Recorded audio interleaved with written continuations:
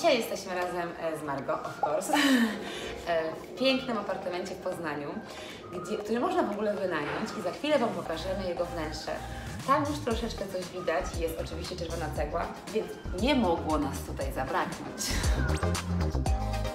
Już w samym przedpokoju widać, że to mieszkanie zostało zaprojektowane przez e, kreatywnego artystę.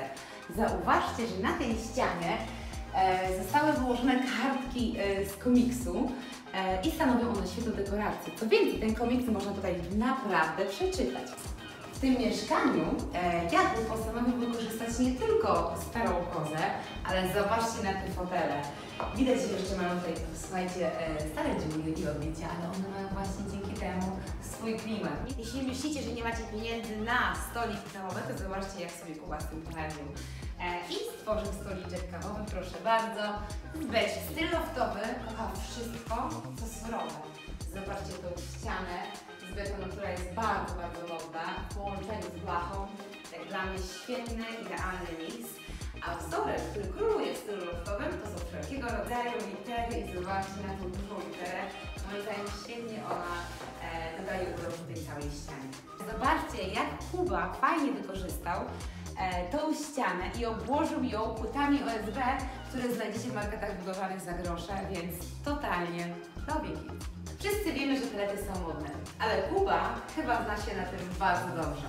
Zobaczcie, jakie stworzył fajne świeczniki, super szafkę RTV, do niej, do niej e, bułeczka i mamy świetny loftowy klimat. A jeśli czytałyście, albo czytaliście, mam nadzieję, że panowie tutaj też są, e, naszą książkę, którą stworzyłyśmy z Margo, szafka RTV, z tego co pamiętam, prawda? Chyba była, wykorzystywałyśmy taką szafkę e, w mieszkaniu o Edyty. Koniecznie zobaczcie, bo to wezbowie łóżka jest znacznie, znacznie dłuższe i się kończy, a słuchajcie tutaj.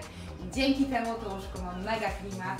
E, ten neon też bardzo kocham, do tego zobaczcie fajna e, szafeczka w super kolorze i dodaje temu ogromnego jaja. Jak fajnym pomysłem było stworzenie tutaj takiego kwadratu w innym odcieniu szarości, e, przybicie gwoździ i za pomocą nitek stworzył nie już to Kuba. Właśnie Kubę zapytamy, ale ktoś stworzył świetne dzieło i wcale nie potrzeba tutaj ogromnego, e, ogromnych, ogromnego budżetu, kiedy nie zaangażowania.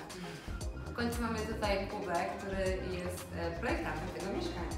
Więc e, Kuba, opowiedz nam o tym dziele. To jest string art dość prosta rzecz, którą każdy może przygotować sobie w domu. To akurat ja przygotowałem, podpatrując sobie internet, jak to się tworzy. Jak długo to trwało w ogóle? Bo to wygląda, że trochę trzeba jedno Za dwie godzinki. A, za dwie godzinki, Eee, dwie godzinki jest gotowe, używając nie tylko tak jak ja różnych kolorów nici, ale różnych grubości. Można tworzyć no, całkowicie unikatowe dzieła i bawiąc się tym w zasadzie samemu tworzysz coś fajnego. Super, no i wcale nie trzeba dużych pieniędzy.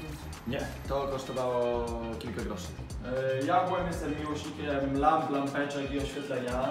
E, Nie tylko takiego elektrycznego, które podłączamy, ale również gdzieś bywając na plich targach w różnych miejscach, gdy widzę nietypową lampkę, e, z reguły ją kupuję, ona znajduje swoje miejsce w moich wnętrzach.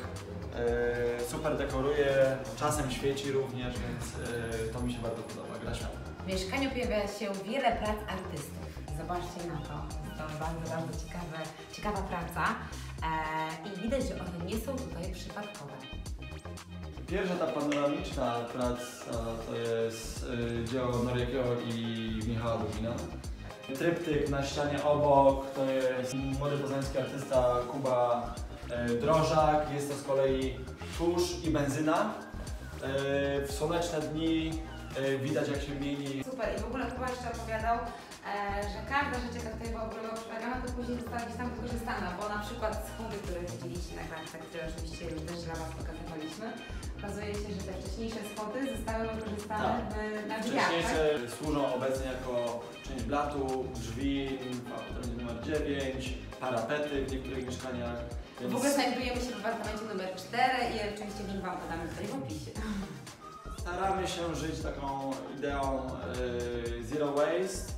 E, jak najmniej rzeczy stąd wyrzucaliśmy, jak najwięcej ratowaliśmy, jak najwięcej staraliśmy się przerobić i dać nowe życie.